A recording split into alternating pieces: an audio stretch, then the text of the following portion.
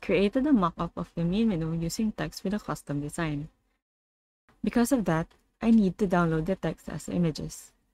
There are two versions of the image, the original and the darker one. Their file names are important.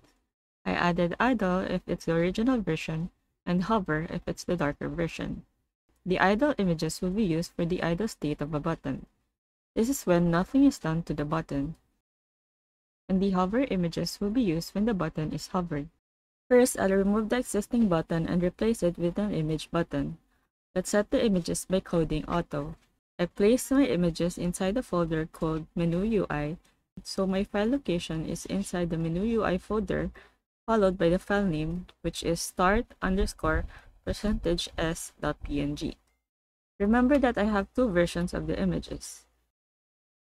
The percentage s here will be replaced by the button states such as idle and hover. That's why we have start underscore idle and start underscore hover as the file names. So when the button is idle, it will show start underscore idle, and when the button is hovered, it will show start underscore hover. Then let's copy the action start.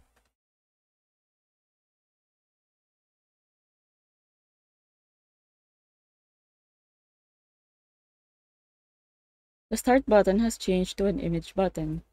The main menu and the game menu buttons are in different codes, so the game menu isn't affected. Let's also change the other buttons. Let's copy paste the code and replace the load button. Let's set the image to load and let's copy paste the action show menu load. Let's fix the indentation by moving it to the left side. Then let's do the same steps for the other buttons.